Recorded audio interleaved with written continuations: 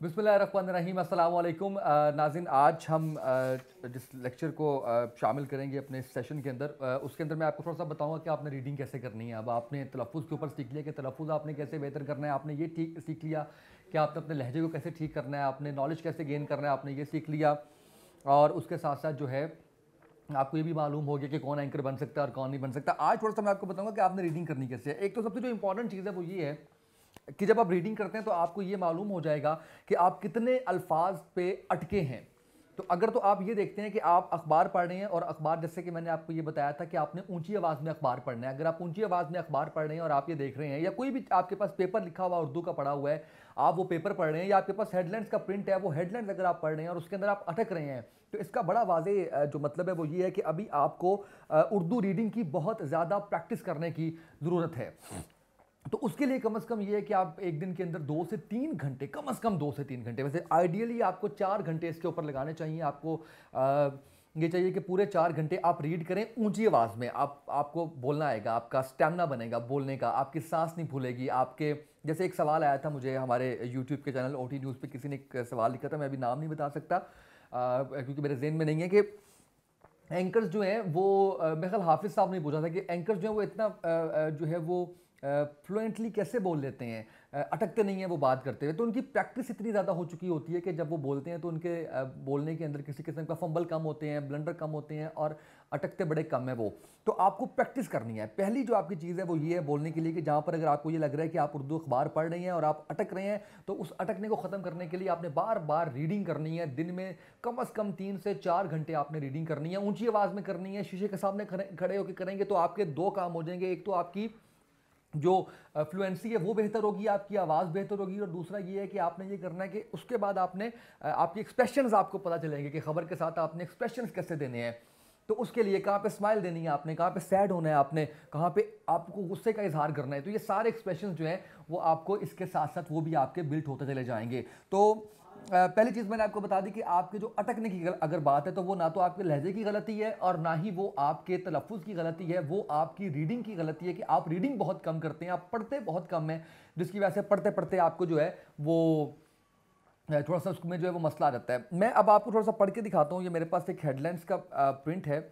वो आपके सामने रखता हूँ, उसके, उससे उम्मीद है कि आप कुछ सीखने की कोशिश करेंगे और अगर कोई आपको मसले मसाइल आते हैं तो आप अपनी हेडलाइंस रिकॉर्ड करके हमारे O T news dot com at Gmail के नाम से हमारा अकाउंट मौजूद है। आप उस अकाउंट पर सेंड कर सकते हैं। उसामा तैयब के नाम से जो हमारा फेसबुक का पेज मौजूद है, आप उस फेसबुक पेज पर अपनी वो वीडियोज़ भेज सकते हैं रिकॉर्ड करके मुझे, मैं आपको फिर उसके ऊपर ट्रेनिंग दूँगा और आपको ये बताऊँगा कि आपकी गलती कहाँ कहाँ है और आपको उसको कैसे ठीक करना है।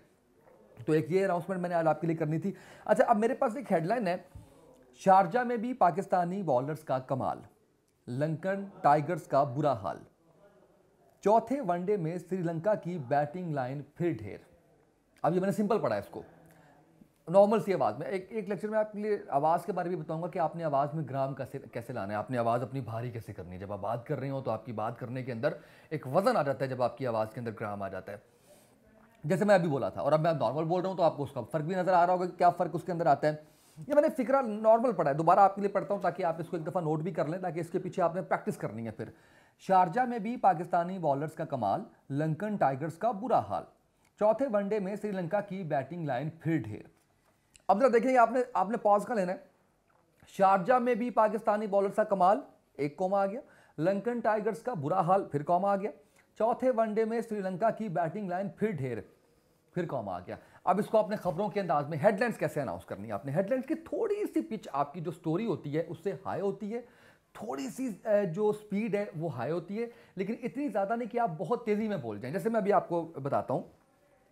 ये है जी, शारजा में भी पाकिस्तानी बॉलर्स का कमाल, लंकन टाइगर्स का बुरा हाल। चौथे वनडे में श्रीलंका की बैटिंग लाइन फिर ढेर। अब आप ये देखिए, मैंने स्ट्रेस का दिया पॉज का दिया शारजा में बी बी के ऊपर मैंने स्ट्रेस दिया शारजा में भी पाकिस्तानी बॉलर्स का कमाल कमाल कर दिया है। एकदम थोड़ा सा इसको आप लंबा जो है वो कर सकते हैं।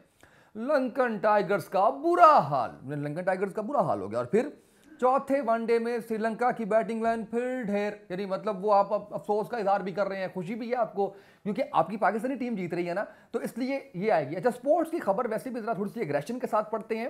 और अग्रेशन के साथ साथ उसमें एनर्जी लेवल ज़्यादा होता है, क्योंकि एंटरटेनमेंट और स्पोर्ट्स के अंदर आप जो है, वो फुल एनर्जी के साथ स्पीड के साथ खबर जो है, वो पढ़ते हैं। हेडलाइंस आपने जो है, वो मैंने आपको बताया। अगली मेरे पास जो हेडलाइन है, वो है, मैं आपको पढ़ के सुनाता हूँ, आप इसको देखिएगा।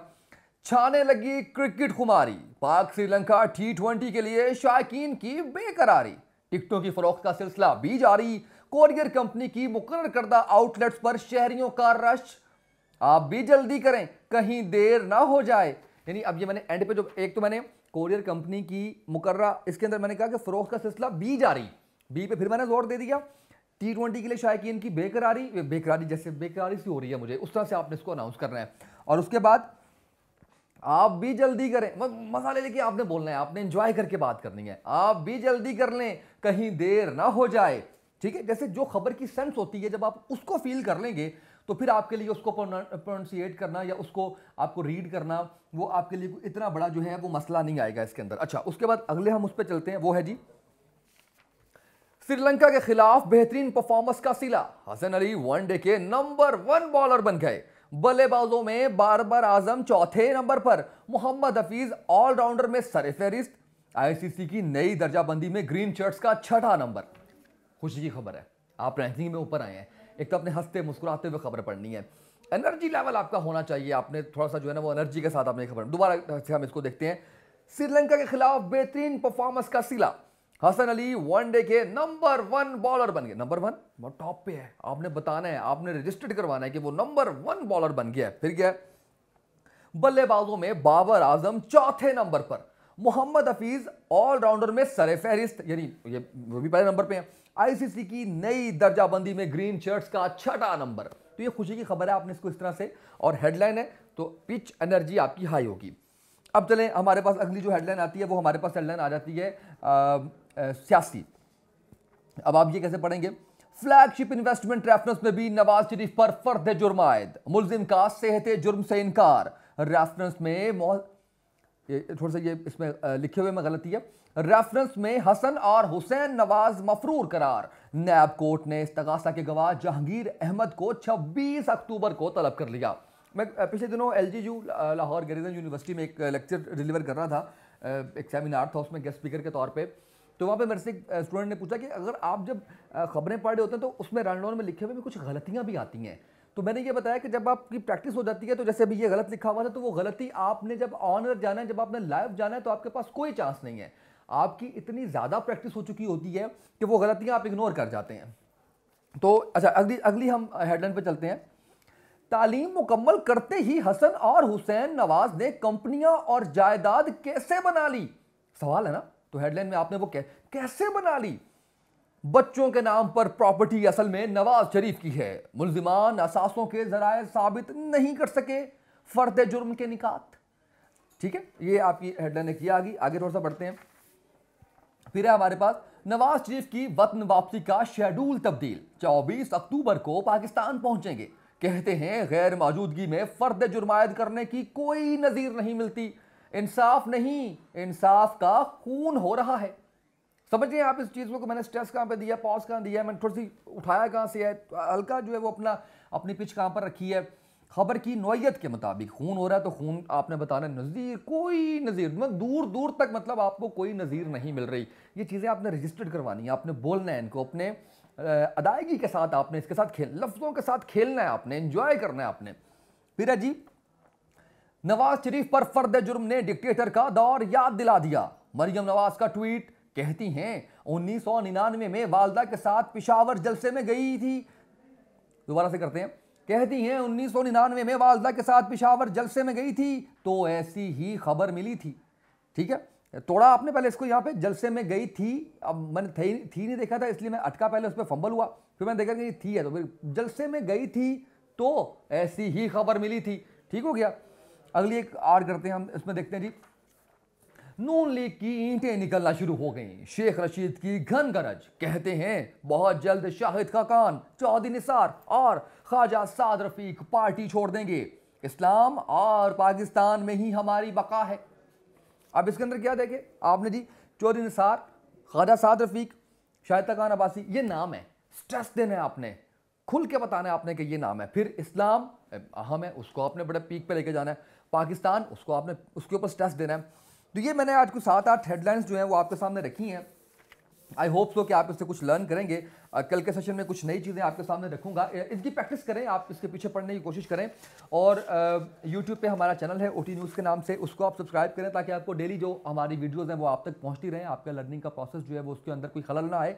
और अपनी वीडियोज़ जो है, वो दोबारा से मैं अनाउंस करता हूँ कि आप रिकॉर्ड करें। कोई भी अखबार पढ़ें, उसकी स्टोरी को पढ़ना शुरू कर दें या अखबार की हेडलाइंस जो है वो पढ़ना शुरू कर दें। लिख लें पहले अपने पास अपना मोबाइल लें, उसमें रिकॉर्ड करें और वो रिकॉर्ड करके हमें भेजें। आप O T news dot com at Gmail dot com के नाम से हमारा जो अकाउंट है उसका ईमेल आईडी है, उसके ऊपर आप भेज सकते हैं हमें। उसामा तैयब के नाम से जो पेज मौजूद है फेसबुक पे आप उस पर हमें भेज सकते हैं ताकि हम आपको उसके मुताबिक फिर वो वीडियो आपकी दिखाएँगे पहले हम अपने इसी वीडियो सेशन के अंदर और फिर उसकी जो गलतियाँ होंगी, वो आप तक हम जो है वो पहुंचाएँगे और आपको बताएँगे कि आपने इसको कैसे ठीक करना है। आई होप कि आज के लेक्चर से भी आपकी लर्निंग होगी। इजाज़त दीजिए। अल्लाह हाफिज़।